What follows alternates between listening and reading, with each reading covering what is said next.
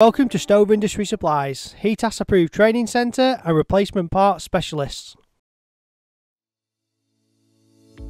Today we're going to show you the best way to light your appliance and show you the differences in lighting different ways. The most common way to light your appliance is to place the kindling and firelighters in first and then place your logs on top.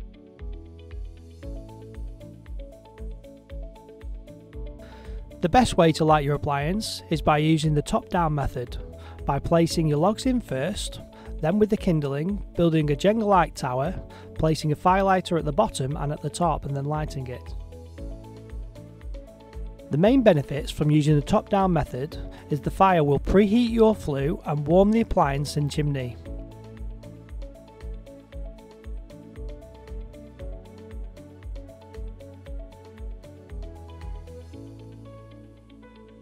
As you will see, very little smoke is produced and the fire burns much cleaner. This is because it is not trying to light larger logs straight away, giving the fire a chance to establish. You will also notice that there will be no condensation build-up on the glass, stopping your glass marking from carbon build-up and going black.